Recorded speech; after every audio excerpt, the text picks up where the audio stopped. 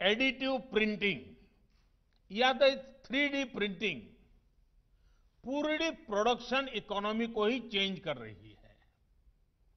अभी आपने न्यूज़ में सुना होगा, पिछले महीने ही एक कंपनी ने चेन्नई के पास एक पूरी दो मंजिला इमारत को ही थ्री डी प्रिंट किया है। जब जब प्रोडक्शन के तरीके बदलेंगे तो लॉजिस्टिक्स और सप्लाई चेन से जुड़ी व्यवस्थाओं में भी बदलाव होगा। इसी तरह टेक्नोलॉजी आज हर जियोग्राफिकल लिमिटेशंस को दूर कर रही है।